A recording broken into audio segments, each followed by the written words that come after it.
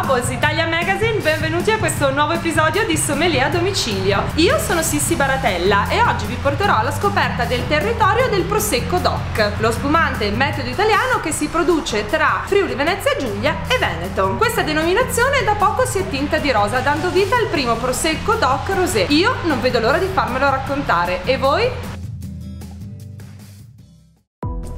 Il mio tour alla scoperta del Prosecco DOC, ma soprattutto della novità di quest'anno, cioè il Prosecco DOC Rosé, continua.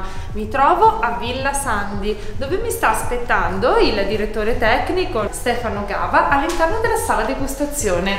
Mi hanno promesso che ha preparato una sorpresa per me. Andiamo a vedere.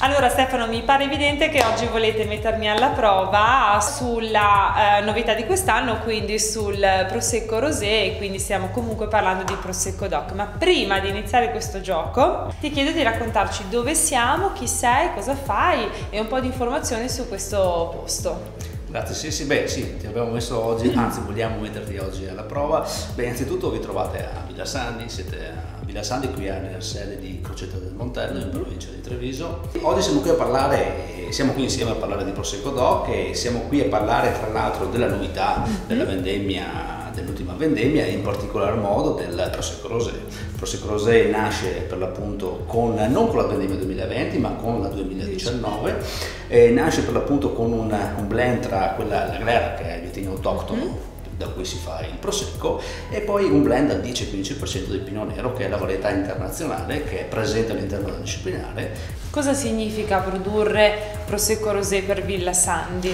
E ci abbiamo creduto tanto perché per noi la versione rosata del prosecco e soprattutto il blend tra glera e pino nero e vinificato in rosso rappresenta secondo noi una, un ottimo connubio tra quelle che sono le caratteristiche di freschezza della glera e la tannicità, se vogliamo, un po' del, del pino nero che dà poi quel tocco di, di, colore. Ho capito però che in questi calici c'è un prosecco doc e un prosecco doc rosé e quindi mi affido un po' alle tue parole, alle tue indicazioni e cercherò di individuare quello che è il contributo del pino nero a questo nuovo a questo, vino. A questo prodotto. Vado!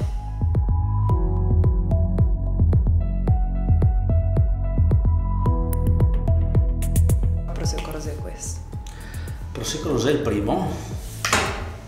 E allora, allora, abbiamo ragione, sono diversi. Ho sentito il frutto rosso, ho sentito una diversa cremosità e intensità in bocca. Assolutamente, c'è un leggero anche, parliamo di pochi, di pochi decimi di grammi mm -hmm. di residuo zuccherino, sono tutti e due due brut, okay. però c'è un grammo litro di differenza tra i due okay. e, il Prosecco Rosé è quello che effettivamente ha un mm -hmm. po' più di rotondità Bene, e allora con il Prosecco Rosé che ormai abbiamo individuato, facciamo un brindisi.